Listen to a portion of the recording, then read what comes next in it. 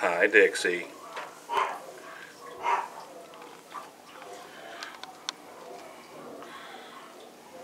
As you can see, Dixie's a plus size girl who's very sweet.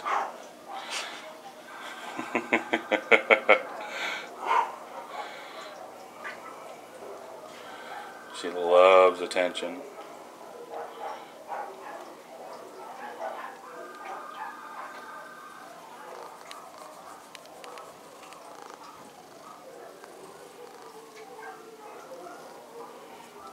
And belly rubs.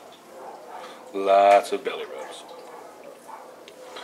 Because there's a lot of belly to rub.